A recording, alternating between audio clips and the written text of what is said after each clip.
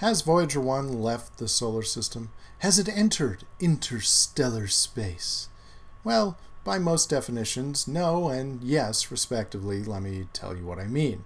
Uh, NASA has announced that the Voyager science team has now agreed, based upon some challenging measurements and uh, lengthy interpretations, that it has passed the sort of subtle boundary into interstellar space, by which they mean beyond the bubble of space dominated by the particles and fields, the charged particle plasma environment, where the solar wind coming out from the sun the charged particles coming out from the sun dominate relative to stuff coming from other stars. It's now entered a region uh, where it's just the sun component is just kind of competitive with the components from elsewhere.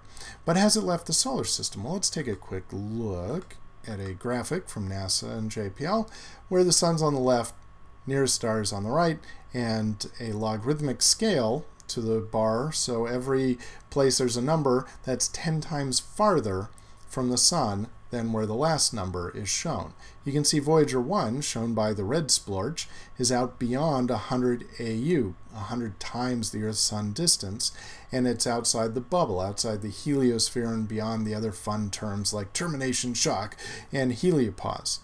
But we usually define the solar system in terms of what's gravitationally bound to the Sun. And there are lots and lots of objects out beyond where Voyager 1 is. Uh, there's uh, things in the scatter disk and Kuiper belt and all sorts of other fun names, but also the most fun name of all, the Oort, Oort, Oort, Oort cloud. Lots and lots of comets from a thousand AU all the way to a hundred thousand AU. Uh, so obviously much, much, much farther out than where Voyager 1 is. So it has taken Voyager 1 about 36 to 37 years to get out into interstellar space, but it'll take 30,000 years or so to get out to where the gravity from other stars starts to become comparable uh, to the gravity from the sun, out past the outer edge of the Oort cloud. So there you have it. For more information, uh, check out these locations and uh, follow me on social media. Check out the Planetary Society.